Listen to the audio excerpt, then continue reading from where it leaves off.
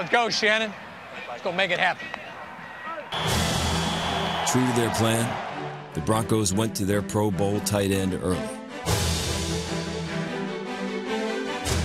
Three-step drop for Elway. Slant pattern's going to be caught by Shannon Sharp. Sharpe. Eludes one to five. Sharpe to the goal line. Did he get in? Sharpe set up Denver's first touchdown, but it proved to be a costly catch. What's wrong with Shannon? Tore his, partially tore his knee, medial side of his knee. With Sharpe out, Denver turned to its other stars. The Broncos dominated the Falcons and completed their season-long mission.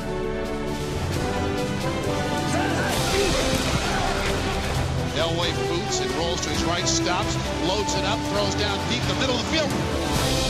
Rod Smith's got it. Here we go.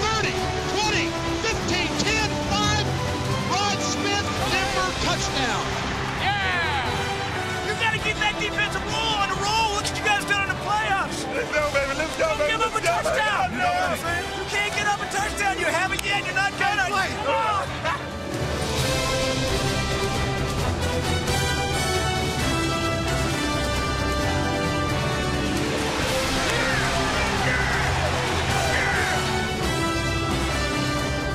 Fourth quarter, the Broncos put the finishing touches on their second championship.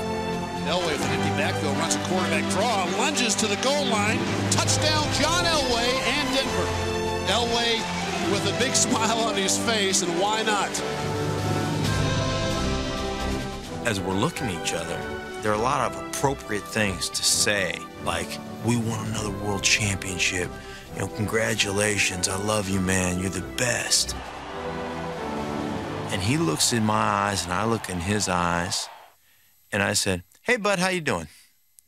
And he just started laughing and he goes, You're an idiot. Afterwards, he said, Of all the memories I have in football, he goes, That one in the end zone will be indelibly marked in my mind forever. He goes, You are an idiot. The MVP of Super Bowl 33 is John Elway.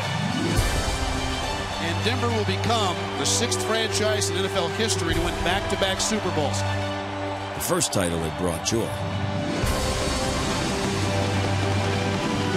The second had released a different emotion.